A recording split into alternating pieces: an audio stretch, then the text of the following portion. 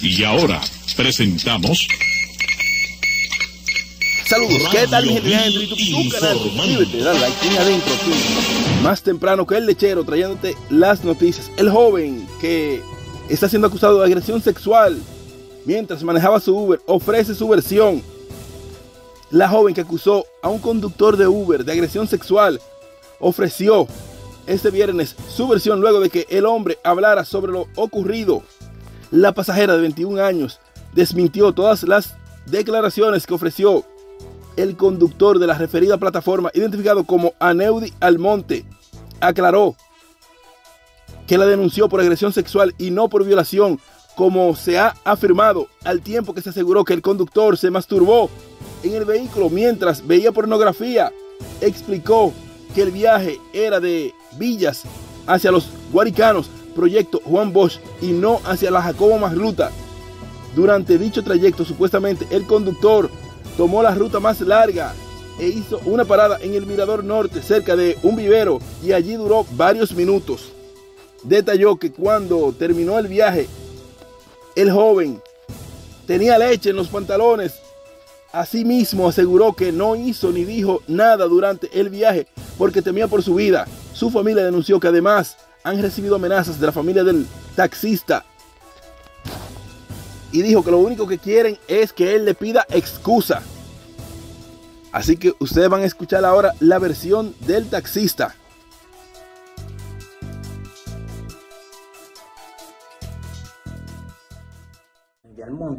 Actualmente tengo 22 años de edad. Mi número de cédula es 402-31-645-9. Estudié lo que fue arte en Bellas Artes y actualmente estudio en la Universidad OIM Turismo. Yo a los 18 años de edad yo tuve lo que fue mi primer vehículo, lo cual me in- inscribí en toda la plataforma para yo generar ingresos y con eso costear mis estudios. Yo soy casado, tengo mi pareja, mi pareja tiene 7 meses de embarazo.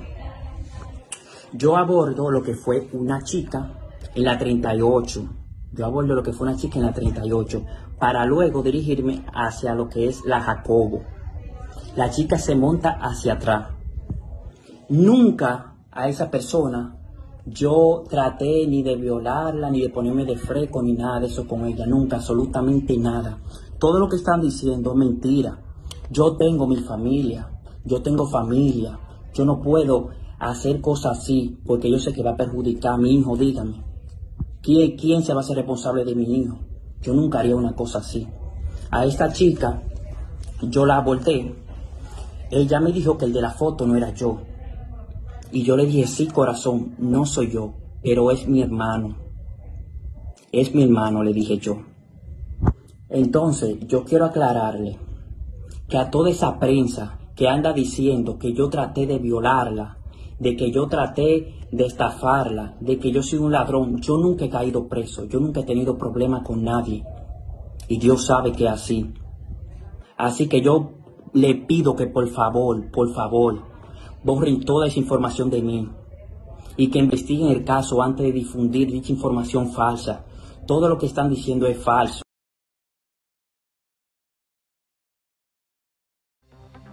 En Santiago, la Fiscalía de Santiago solicitó a la Oficina Judicial de Servicios de Atención Permanente que se dicte prisión preventiva contra la presunta cabecilla de una red que estafó a más de 50 personas con un falso modelo de inversión que prometía multiplicar lo aportado a través del mercado en criptomonedas. La imputada ha sido identificada como Sara Rodríguez Díaz, quien supuestamente usó numerosas estrategias engañosas para captar clientes a quienes convencía en realizar depósitos bancarios y en efectivo, efectuándose una estafa que supera los 50 millones de pesos. La investigación realizada arrojaron que la imputada presentó un negocio ficticio a través de una entidad Black Box Investment para alegar el éxito de las inversiones mostraba una aparente solvencia económica por la opulenta vida que exhibía con compras de vehículos, patrocinio de eventos y supuestos negocios alternos. La imputada utilizaba documentos falsos para mostrar supuestas transacciones e inversiones y estoy alto de decirlo, esto se llama negocios de pirámide, donde el que está arriba sale ganando. Después todos los otros pendejos que están más abajo del que está arriba en la pirámide salen perdiendo. ¡Abran los ojos, coño! En San Francisco de Macorís, un taxista ha sido reportado como desaparecido por sus familiares luego de que pasaran 48 horas que saliera de su residencia sin que sus familiares recibieran noticias de su paradero. Se trata de José Armando Gil Paulino, conocido como Ñengo, quien salió el pasado miércoles 15 de su residencia con destino a la ciudad de Santiago y desde entonces no se sabe dónde está. Los familiares detallaron que se desplaza en su vehículo marca Kia, color blanco, placa número A78 1479. Los parientes precisaron que quien tenga algún tipo de información sobre su paradero, que se comuniquen al número 809-847-6086. Vuelvo y repito el número de teléfono 809-847-6086.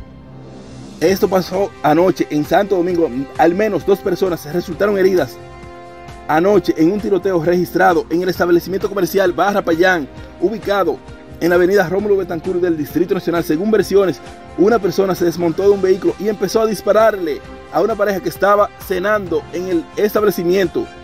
Las dos personas heridas fueron trasladadas a un centro de salud sin que hasta el momento se conozca el motivo del incidente. Por otro lado, en Haití, tras sus familiares pagar unos 660 mil pesos, fue liberado este viernes el comerciante dominicano que se encontraba secuestrado desde hace 20 días por una banda en el territorio haitiano. Se trata del comerciante de repuesto y piezas de vehículo Francisco Esteban Lora, de 42 años, originario de Caobal Comedero, provincia Sánchez Ramírez, estaba detenido en Haití por los secuestradores desde hace 20 días. Francisco Lora había sido secuestrado el pasado mes de julio en la vecina nación. Los familiares explicaron que no recibieron ayuda del gobierno para la puesta en libertad del dominicano. Señalan que tuvieron que pagar dos veces el rescate, ya que la primera vez pagaron en efectivo 640 mil pesos a un nacional haitiano, compañero de trabajo del comerciante, quien se escapó con el dinero. Luego se pusieron a pedir peajes por personas solidarias y lograron recaudar 12 mil dólares más. Los parientes de Esteban Lora cuentan que en ningún momento el, el Estado Dominicano les brindó apoyo para la liberación de su familiar. Y oigan, no sé qué clase de trabajo usted hace, pero para allá, por el momento, para Haití, está bien peligrosa la vaina. Cuídense. Traten de ir lo menos posible, a menos que no sea una vaina de vida o muerte, porque están secuestrando a la gente. Todo el que va lo secuestran. Y entonces, vamos a jugar las ruletas rusas con un revólver ahí, a poner un tiro en la cabeza, a ver si nos disparan o no nos disparan. No, hombre. En Jarabacoa fueron identificados como Rodney Espinosa, de 22 años, y Erickson Durán Vázquez, de 28, residente en este municipio de Jarabacoa, los dos jóvenes que perdieron la vida al ser atropellados por un camión el camión es de tipo hormigón y era conducido por Erison Alcántara de 30 años. Según sus declaraciones, le fallaron los frenos, perdiendo el control e impactando a los dos jóvenes en la carretera Federico Basilis, tramo carretero Jarabacoa, La Vega. En el momento en que ellos se desplazaban en un motor por la referida vía, el conductor del vehículo pesado fue trasladado al hospital Octavia Gautier de Vidal de esta ciudad por haber recibido golpes en distintas partes de su cuerpo al momento del hecho. Se recuerda que los vehículos pesados de doble ejes tienen prohibido transitar en la carretera Federico Basilis de viernes a domingo luego de aprobarse una resolución municipal para evitar los entaponamientos y accidentes. Por otro lado, un joven se quitó la vida por asuntos pasionales. Orlando Cava murió a causa de asfixia por ahorcamiento de acuerdo con el diagnóstico del médico legista, según el comunicador Ofi Núñez, el joven de nombre Orlando Cava estaba depresivo luego de enterarse de que había perdido a la mujer que amaba. En su comunidad nos informan que el joven era muy trabajador y buena persona. Por otro lado, circula en las redes sociales después de tres semanas el video del momento que el seguridad de una discoteca le quita la vida a tiros a una pareja de esposos en un hecho ocurrido en el sector Los Guaricanos, provincia de Santo Domingo. La pareja de esposos respondían al nombre de Alberto Florentino de 30 años y Dania Alexandra Guzmán de 25. Las autoridades policiales identificaron como Víctor Manuel Montilla Jerez, alias El Grande, señalado como el acusado de quitarle la vida a la pareja de esposos en las afueras de un centro de diversión. Y el video, esta vaina mete miedo, porque si así es que está la vaina, ellos vienen en un motor, tranquilo, tres personas vienen, la pareja de esposo y otra mujer.